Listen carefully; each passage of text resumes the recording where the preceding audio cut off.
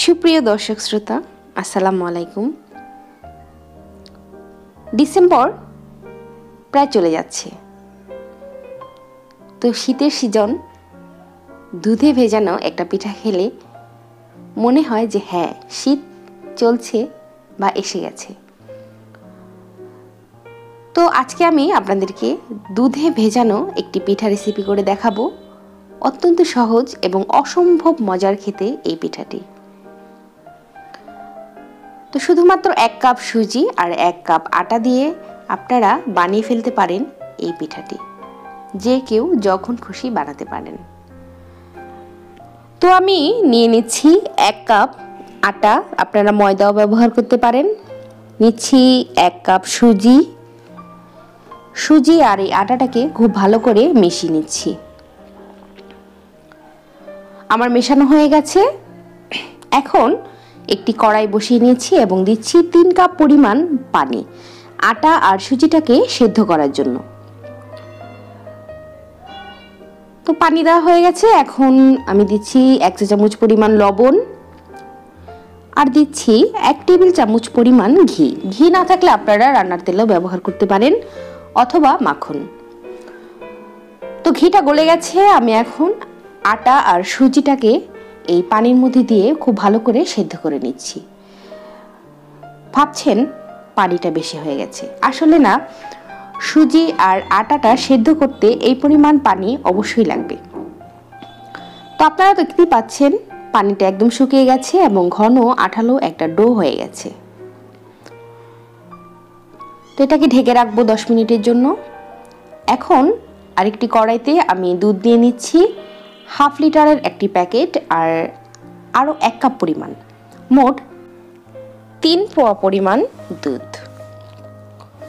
তো দিচ্ছি দুইটি এলাচ, মুখটা একটু ফাটিয়ে দিচ্ছি, সুগন্ধটা বের হওয়ার জন্য।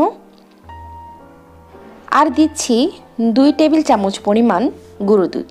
গুঁড়ো দুধটা দেওয়ার কারণ হচ্ছে খুব দ্রুত ঘন হয়ে যাবে এবং দারুণ একটা ফ্লেভার আসবে, যাতে পিঠার স্বাদটা আরও তিন গুণ বাড়িয়ে দেবে। দিচ্ছি হাফ কাপ পরিমাণ চিনি চিনিটা আপনারা আপনাদের স্বাদ অনুযায়ী দিবেন, তবে হাফ কাপ পরিমাণ চিনি দিলেই সঠিক পরিমাণে হবে।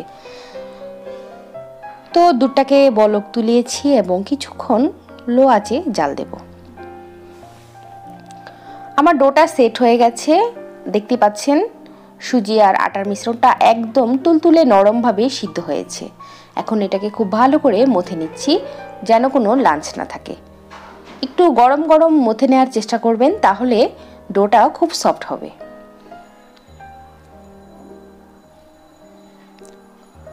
তো দেখতে পাচ্ছেন কতটা মিহি হয়েছে, একদম ফ্রেশ, কোনো লাঞ্চ নেই।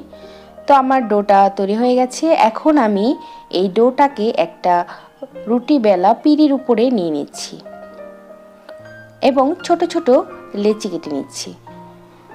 তো এরকম ছোট ছোট করে লেচি সবগুলো ডো থেকেই আমি কেটে নেব। তাহলে আমার পিঠাটা বানাতে খুব সহজ হবে এবং দ্রুতই শেষ হয়ে যাবে।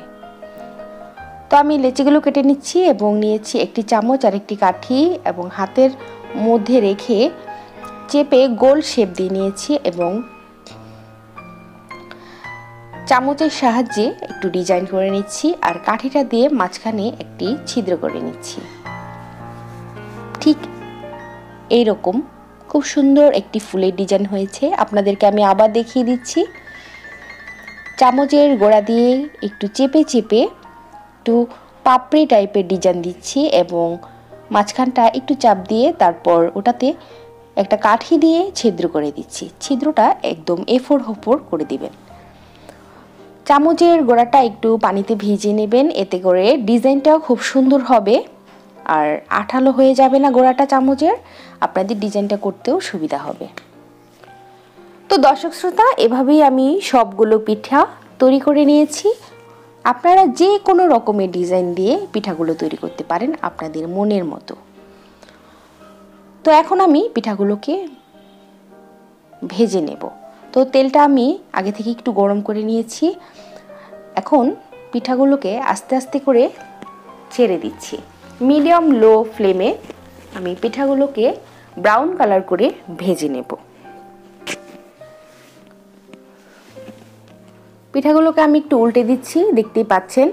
এই ছিদ্রটা না দিলে আপনাদের পিঠাগুলো ভালোভাবে ভাজা হবে না আর বেশি একটা ফুলবেও না। এতে করে দুধটাও পিঠার ভেতরে ঢুকবে না। তো অবশ্যই ছিদ্রটা আপনারা করে দেবেন। তো দেখতে পাচ্ছেন, দর্শক শ্রোতা, আমার পিঠাগুলো বেশ ব্রাউন কালার হয়ে গেছে। আপনারা চাইলে আর একটু কড়া করেও ভেজে নিতে পারেন। তো আমার এরকমই ভালো লাগে। তো আমার পিঠাগুলোকে আমি তেল ঝরিয়ে তুলে নিচ্ছি।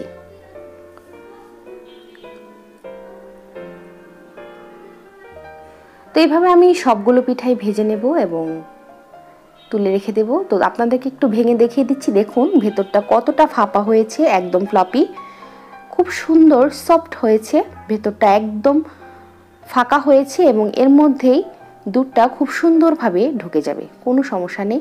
আপনারা কিন্তু চাইলে এটা শুধুও খেতে পারেন। বিস্কিটের মতো। খুবই মজার। তো এখন দুধটা ঠান্ডা হয়ে গিয়েছিল। একটু গরম করে নিয়েছি মানে একটু ফুটিয়ে নিয়েছি। আর এই গরম দুধের মধ্যে আমি ঢেলে দিচ্ছি পিঠাগুলো। একটু নেড়ে চেড়ে দিচ্ছি উল্টে পাল্টে। ভালো করে নেড়ে দুধের মধ্যে পিঠাগুলোকে আমি ডুবিয়ে দিচ্ছি। আর এটাকে আমি এখন রেখে দেব ঢেকে চার থেকে পাঁচ ঘণ্টার জন্য। তো পাঁচ ঘণ্টা পরে আপনাদেরকে আমি দেখাচ্ছি একটা পিঠা কেটে। দেখুন, ভেতরটা এতটাই সুন্দর হয়েছে, আপনারা নিজেরাই দেখতে পাচ্ছেন। তো দর্শক শ্রোতা, আপনাদের যদি আমার আজকের এই রেসিপিটি ভালো লেগে থাকে, আমাকে অবশ্যই সাবস্ক্রাইব করতে ভুলবেন না। আর বাসায় অবশ্যই একবার হলেও ট্রাই করবেন। আর লাইক কমেন্ট শেয়ার করবেন আমাকে। আল্লাহ হাফেজ।